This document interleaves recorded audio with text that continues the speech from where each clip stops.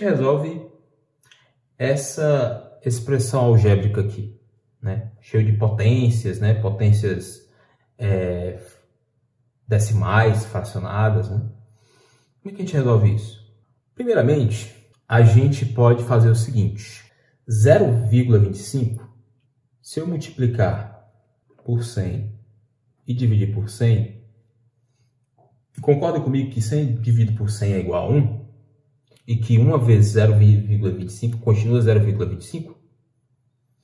Só que, se eu fizer a multiplicação aqui por 100, vai dar 25, né? Isso aqui com esse aqui. E isso aqui vai dar 25%. Não sei se vocês estão lembrados de outros vídeos, você pode até ver aqui no card um vídeo que eu explico o que é porcentagem. Isso aqui é uma porcentagem, 25 sobre 100, que seria equivalente a 25%. Só que a gente quer simplificar essa expressão aqui. A gente pode simplificar ela. Por exemplo, isso daqui é o mesmo que 25 sobre 4 vezes 25. 4 vezes 25 vai dar 100, não é verdade? O 25 está se repetindo em cima e embaixo. Eu posso cortar ele aqui em cima e aqui embaixo. E aqui vai ficar 1 sobre 4. Então, 1 sobre 4 é equivalente a 25 sobre 100, que é equivalente a 0,25. Muito bem, então a gente encontrou esse valor aqui, que é igual a 0,25. Então a gente vai colocar esse 1, sobre 4 aqui dentro, ok? A gente vai repetir o de cima, 1 sobre 4 sobre 1 sobre 4. Agora a gente pode resolver as potências eu posso multiplicar essa potência, essas duas potências, lembrando das regras das, potência, das potências, né? Por exemplo, a regra diz o seguinte: quando eu tenho uma base A, eu está elevada a m, e tudo isso está elevado a n, eu posso multiplicar, eu posso repetir a base e multiplicar os expoentes, certo? É o que a gente vai fazer aqui. Eu vou multiplicar vou repetir a base, que eu repeti aqui embaixo, e agora eu vou multiplicar os expoentes. 3 vezes 1.5 é igual a 4.5. Aqui eu tenho sinal de mais e aqui eu tenho sinal de menos. Na multiplicação, mais com menos dá menos. Então aqui vai ficar menos. Ok? E o de baixo eu vou repetir. Menos 6.5. 5.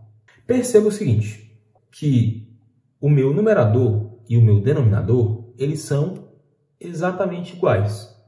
A gente pode relembrar mais uma, uma propriedade das exponenciais.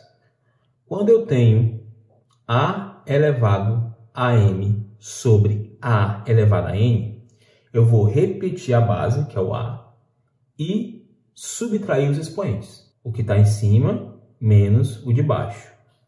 Então, o que a gente vai fazer aqui é o seguinte: a gente vai repetir a base, certo? 1, vou botar aqui, 1 sobre 4, elevado a menos 4 sobre 5, menos, menos 6,5.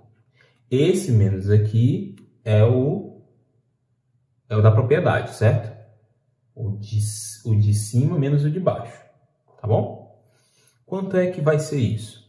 Aqui vai ficar menos 4,5 e aqui eu tenho menos com menos. Na multiplicação, menos com menos é mais. Mais 6,5. Menos 4,5 mais 6,5 vai dar justamente 2, certo? Então, aqui vai ficar 1 quarto elevado a 2. Aplicando a distributiva, eu vou elevar 1 ao quadrado e vou levar 4 ao quadrado. Então, isso aqui vai ficar 1, porque qualquer que seja o expoente, se minha base for 1, ele vai ser 1, tá bom? Porém, 4 ao quadrado é 16. Portanto, a nossa resposta final é 1 sobre 16, que é justamente a alternativa C do exercício.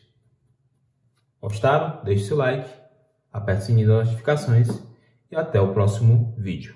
Valeu!